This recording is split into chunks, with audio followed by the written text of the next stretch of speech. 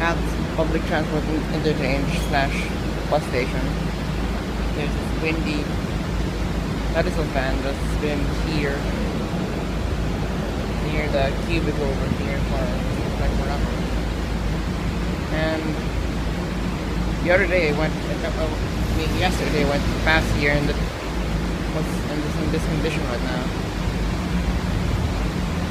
It's blowing in the wind all the ventilation and whatnot in a video of that.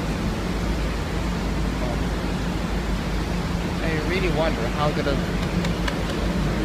got into the States. The plug's been severed. It's dirty, like there's no tomorrow. It's rusty. The knob's been removed.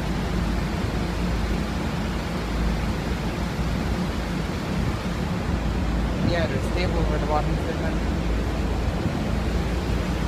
The windy logo is peeling off, and this little ring here has been bent. Still, maybe it's been vandalized. That's what that could be a possibility.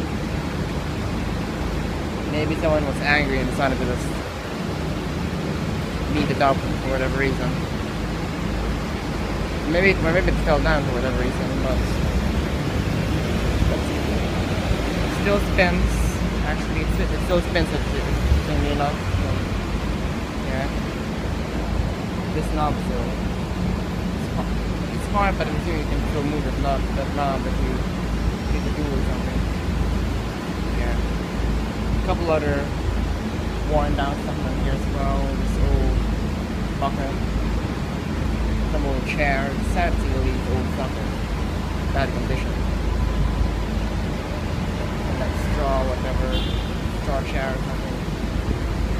There's this air conditioner which appears to be broken. Us over here. Air conditioner. Good air conditioner.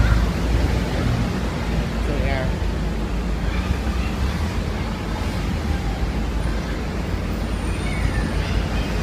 Just wanted to be something worth showing. Anyways, there you have it. Thanks for watching. Moving on.